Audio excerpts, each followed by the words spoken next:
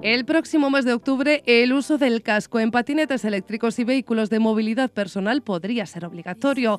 Y es que este es uno de los acuerdos a los que ha llegado la Comisión de Interior del Congreso de los Diputados a petición del PSOE, PP, PNV y Ciudadanos en diferentes enmiendas presentadas a la nueva ley de tráfico.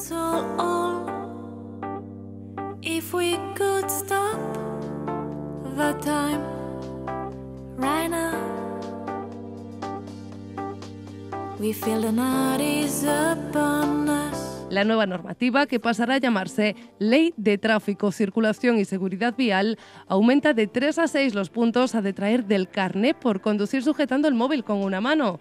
También eleva de 3 a 4 los puntos detraídos por no utilizar el cinturón de seguridad o hacerlo de forma incorrecta, los sistemas de retención infantil o el casco en las motocicletas.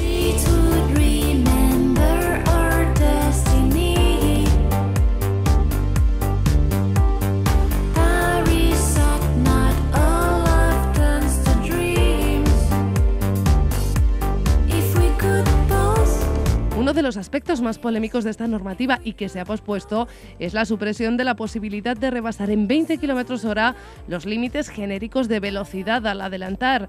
Ciudadanos, Esquerra Republicana de Cataluña, Plural y Vox han presentado sendas enmiendas para que se mantenga la norma actual.